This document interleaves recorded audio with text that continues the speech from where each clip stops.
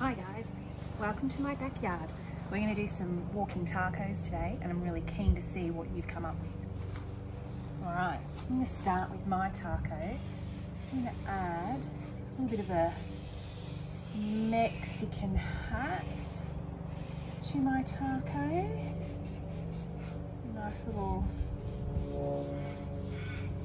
design on there that I can come back to later and add some more detail. Taco body.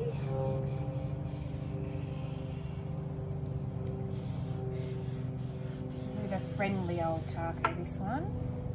Super keen to see what tacos you guys are all going to come up with.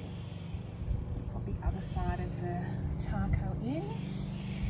Give my little taco a bit of a face so he's got some personality more, kind of makes him look a little bit cheekier. Right, now I've got to fill my taco with some things that might go in it. I might add in some tomato, cheese, bit of lettuce, more lettuce and meat, maybe another piece of tomato, more cheese, a bit more lettuce. Okay, I'm pretty happy with, with my taco. What's the only thing missing? That's right guys, I'd like you to add some colour.